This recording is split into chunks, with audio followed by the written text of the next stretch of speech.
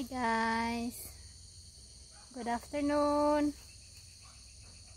We're going to harvest the ginger. I planted this. I think uh, uh, 9 to 10 months na ito siya. So, may, see?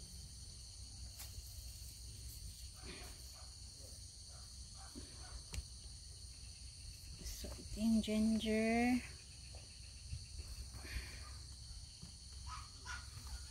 Wait.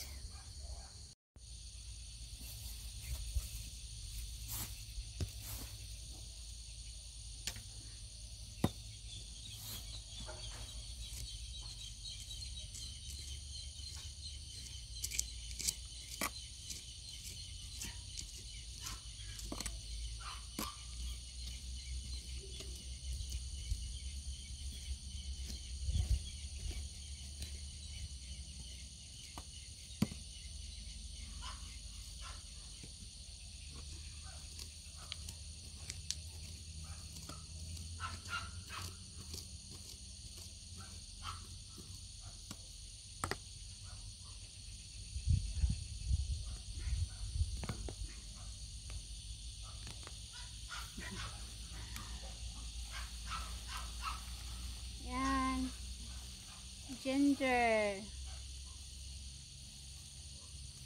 Luya guys. Tanim ko before. I think 10 months ago. Ito siya.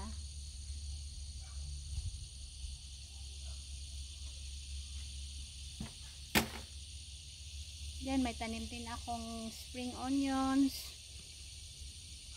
That's. Yan lang.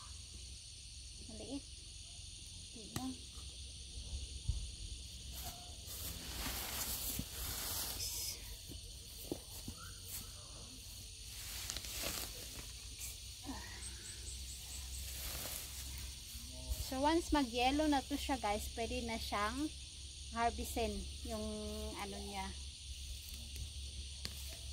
Tanggalin lang natin to. Ayan.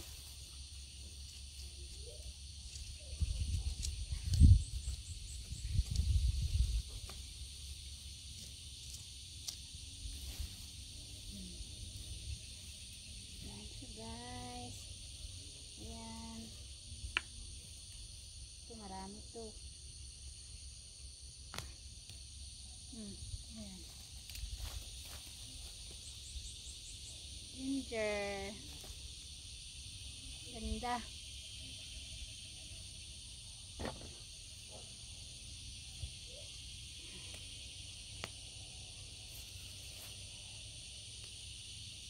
Hmm. Ayan. Ginger natin.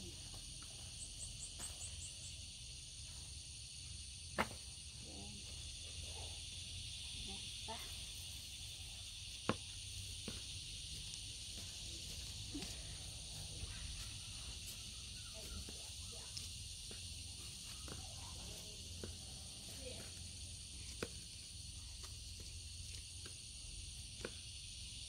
Yan na.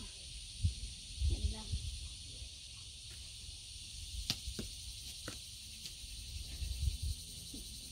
So, ito lang guys. Ang ginger. Yan. Ito. Saka ito. Yan. Tatlo lang. Pwede na. Pwede na ilagay sa sabaw.